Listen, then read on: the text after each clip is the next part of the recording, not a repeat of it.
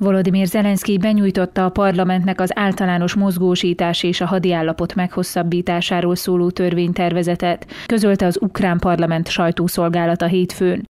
A Verhovna Ráde honlapja szerint a dokumentumokat február 6-án nyújtották be a parlament vezetőségének. A törvényjavaslatok szövegét azonban egyelőre nem tették közzé. Zelenszky 2022. február 25-én írta alá az általános mozgósításról szóló rendeletet Ukrajnában. Később a legfelsőbb tanács többször is meghosszabbította a hadi állapottal együtt, legutóbb 2023. február 19-éig.